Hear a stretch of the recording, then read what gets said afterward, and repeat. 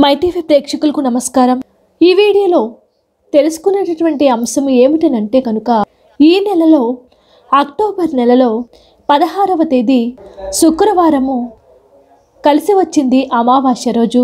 అమావాస్య శుక్రవారము రెండు కూడా కలిసి వచ్చాయి.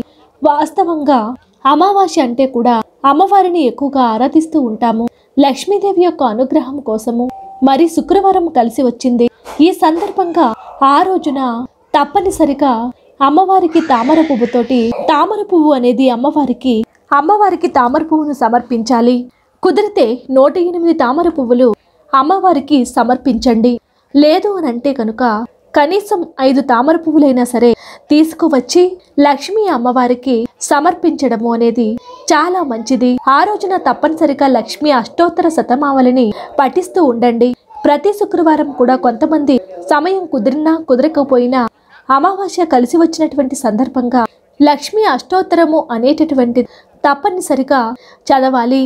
ఆ తర్వాత వడపప్పు పానకాన్ని నైవేద్యంగా సమర్పించండి. ముఖ్యంగా వడపప్పు పానకము ఆ రోజున నైవేద్యంగా పెట్టడము చాలా మంచిది. బెల్లం పరమాణము అంటే క్షీరాన్నము అనేది సహజంగా మనం చేస్తూ ఉంటాము. ప్రతి శుక్రవారము కూడా అమావాస్య కలిసి వచ్చినటువంటి సందర్భంగా తప్పనిసరిగా ఆ రోజున లక్ష్మీ అమ్మవారిని ఆరాధించుకొని కొంచెం పరమాన్నము అదే విధంగా వడపప్పు పానకము తప్పనిసరిగా నైవేద్యం పెట్టండి. నైవేద్యం పెట్టి హారతి ఇవ్వటము చాలా మంచిది. ఆ రోజున అమావాస్య వచ్చినటువంటి సందర్భంగా హారతి అనేది ఇల్లు మొత్తం కూడా చూపించండి.